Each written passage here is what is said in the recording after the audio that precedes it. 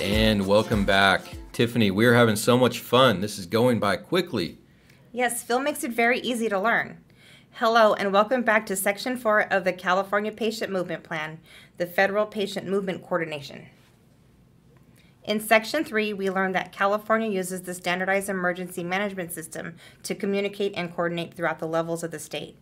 However, when the state is unable to fulfill the needs and resources of the region, California will request aid from the federal government. So Phil here, he's sad because he's from California and he needs resources. So what do we do? We, we put together California Movement Tool Form 3, which is really from the state uh, OES to the federal government. And that basically says, federal government, we need some help. And then we use specific forms that the federal government gives us called RRFs, Resource Request Forms, to dictate exactly what we want. So one of those things that we can order from the federal government is called the National EMS Contract. This includes 300 ground ambulances, 25 air resources, that's fixed wing and uh, rotary wing, paratransit vehicles, EMS personnel, and communication support. That all comes with basically the flip of a switch if we need it from the federal government. So in order to activate the national EMS contract, first thing we have to do is fill out RRF1 and our federal movement tools. And this is in the plan. Um, basically what this tool says is how many ambulances you need, how many paratransit you need, when do you need them, where do you need them. Next, we would also fill out the Federal Movement Tool um, RRF2, and this form is essentially um, support to that contract. So if we needed to order pharmacists or liaison officers or um, overhead teams, things like that. So this slide will show you sort of the um, some of the planning factors that we think about when we order one of these federal teams. Um, it takes them about six hours to activate um, 18 hours to start getting ambulances into the area, and then all ambulances basically staged, ready to go at uh, 36 hours. The next form we'll look at here is Federal Movement Tools um, RRF3, and this is used to activate the National Disaster Medical System. This is a full federal system to respond to medical incidents throughout the country. So let me sort of explain what this is. So the National Disaster Medical System, NDMS, um, is medical responders, uh, air uh, resources, patient ground evacuation resources, and definitive care resources, all responding and coordinated together under the federal umbrella.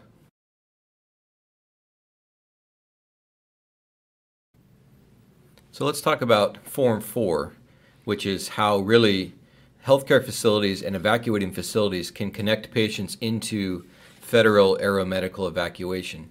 So there's a minimum amount of data sets that the federal government needs. One is obviously our unique CUPS number, but it's also first name, last name, sex, date of birth, and whether the patient is a minor or not. Those are the minimum data sets that the federal government needs. So let's talk about the NDMS planning factors. These are really important factors that we have to look at um, when we activate the National Disaster Medical System. One is the state puts a request in. There's no federal boots on the ground until about 18 hours in. And then once the patient movement operations start, they can do about 140 a day um, with one uh, base of operations, and then that doubles with every base of operations thereafter. Okay, now let's talk about defense support for, of civil authorities, and this is really where the military starts getting involved.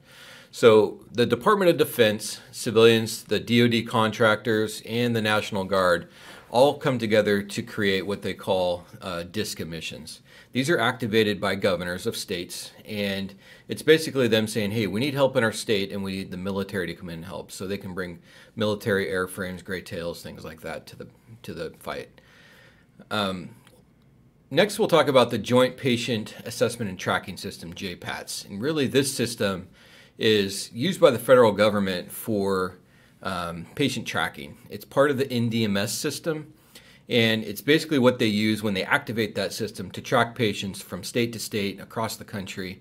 And this is where we want to make sure and give them our unique CUPS number so when our patients go into their system, they're being tracked.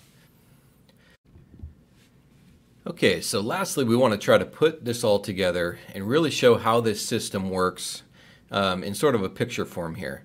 So patients from the field level, from area hospitals, from skilled nursing facilities, from impacted facilities that need to transport those patients out, they move those patients out via ground ambulance, and those will get moved to what the federal government calls a DASF. That's a disaster aeromedical staging facility. Once they're at that facility, then they move into an aerial port of embarkation where they then get onto, as you can see here, an airplane, and then they get flown to a federal coordination center um, somewhere in a non impacted area of, of the country. At that point, they'll get loaded onto ground ambulances on the other end of the system and transported to definitive care, where they will finally um, get the treatment that they need um, in a non impacted area of the country. And then, once they're finally um, treated and back to uh, normal and released, then the federal government will then work to repatriate those patients all the way back to the originating place where they came from or send them home. So our last slide here, we're, we're going to basically show how requests get sent uh, from the field level up to the federal government. So we always follow SEMS. Um, so at the field level, impacted health facilities will put their request into the MHOAC program. MHOAC program will then elevate that to the region region to the state if needed, and then the state will work with the feds to make sure that all um, medical and health needs are getting met. This completes Section 4 of the California Patient Movement Plan. Next up, we're going to test your knowledge in Section 5. Ooh, that sounds scary.